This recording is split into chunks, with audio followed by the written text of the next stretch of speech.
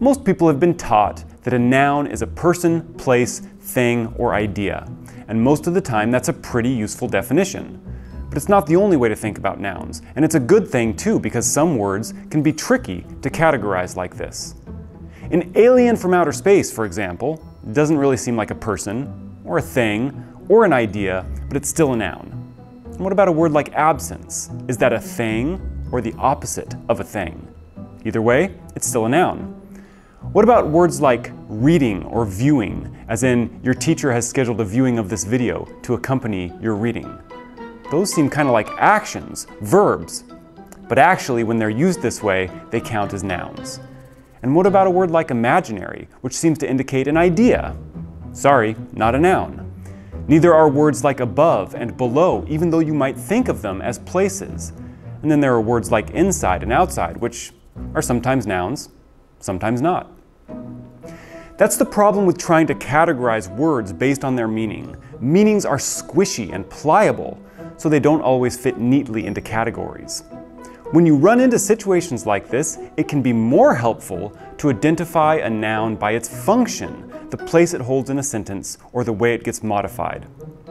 What's cool about this way of categorizing words is that you already know the answers if you're a native speaker by the way you do and don't use them in sentences. Nouns are the only part of speech, for example, that can be made plural or possessive.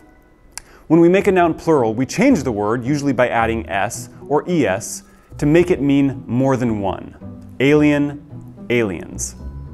When we make a noun possessive, usually by adding apostrophe s, it shows that whatever comes next belongs to it. The alien's third eye, the alien's mind control. Well, if nouns are the only kind of word that can perform these two functions, then we can use those functions to identify which words are nouns. A noun, therefore, is any word that can be made plural or possessive, like alien. Can we have multiple absences? Most students do. Can absence be possessive, as in the absence's effect on your grade? Sure, it's a noun. Can we have multiple readings and viewings? Yeah. Can they be possessive, as in the reading's content and the viewing's runtime? Yep, they're nouns. But can we have multiple aboves? Well, that doesn't sound right. What about possession, as in the above's space? That one doesn't seem to work. That's because it's not a noun. Can we have multiple imaginaries? No, not really.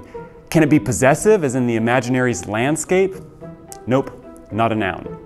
This isn't just a trick or a shortcut. It's the way most linguists today define parts of speech, precisely because it's so simple and definitive. That means it's pretty useful for us too, especially because you already know these things. You just might not have known that you know them. Now that you do, go ahead and use them.